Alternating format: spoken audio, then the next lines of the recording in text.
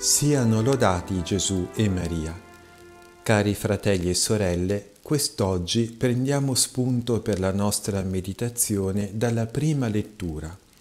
San Giovanni scrive, Carissimi, amiamoci gli uni gli altri perché l'amore è da Dio. Chiunque ama è stato generato da Dio e conosce Dio. Chi non ama non ha conosciuto Dio perché Dio è amore. In questo breve brano è presente una piccola frase, piccola ma di fondamentale importanza. Dio è amore. In questa piccola frase è racchiuso il mistero di Dio uno e trino. Dio è trino proprio perché è amore. Infatti si può parlare di amore soltanto dove c'è una comunione di persone.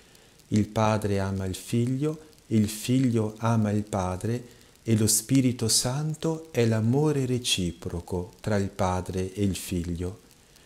E Dio è uno proprio perché amore. L'amore in Dio è talmente perfetto che di tre persone vi è l'unico solo Dio. L'amore unisce in una cosa sola. E l'essere umano, creato ad immagine e somiglianza di Dio, deve riflettere il mistero dell'amore di Dio.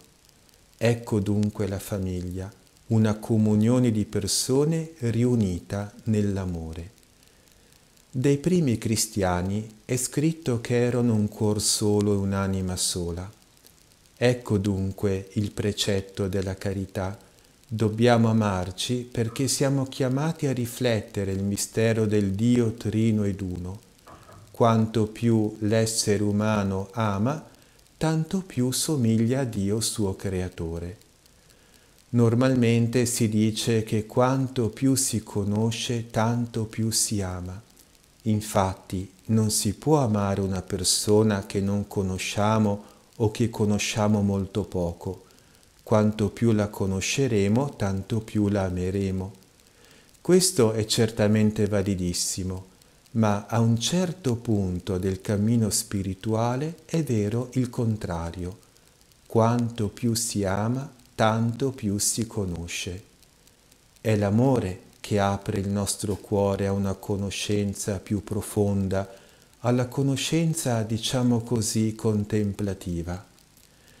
Ecco che l'Apostolo San Giovanni nella prima lettura di oggi dice così, Chiunque ama è stato generato da Dio e conosce Dio. Chi non ama non ha conosciuto Dio perché Dio è amore. Dunque, quanto più ameremo Dio, tanto più lo conosceremo. E questo vale soprattutto quando il cristiano oltrepassa la soglia della contemplazione. La contemplazione si può definire una conoscenza più profonda, una conoscenza superiore, una conoscenza infusa, una luce che viene dall'alto. E quanto più ameremo Dio, tanto più attireremo nel nostro cuore e nella nostra mente questa luce superiore, questa luce contemplativa e questo amore soprannaturale. Si conosce, per così dire, per connaturalità ovvero solo il simile conosce il simile, solo chi ama conosce Dio che è amore. Santa Teresa d'Avila insegnava che in un attimo solo di questa luce che viene dall'alto, di questa luce contemplativa, si conosce di Dio molto di più di quello che si potrebbe conoscere in anni interi di studi e riflessioni personali. Ci sono dunque due tipi di conoscenza. C'è la conoscenza acquisita ed è quella che noi otteniamo con lo studio, con la lettura, con la riflessione, e c'è la conoscenza contemplativa, quella che viene dall'alto, quella che soltanto Dio può concedere. Noi con i nostri sforzi riusciremo soltanto ad avere una conoscenza acquisita, quindi lenta e laboriosa, se Dio vuole e quando Dio vuole, riceveremo la conoscenza che viene dall'alto e allora in un attimo solo conosceremo di Dio molto meglio di quanto potremmo ottenere personalmente. Domandiamoci ora a chi inoltre Dio dona questa conoscenza infusa. La dona agli umili di cuore. Quanto più saremo umili, tanto più conosceremo Dio.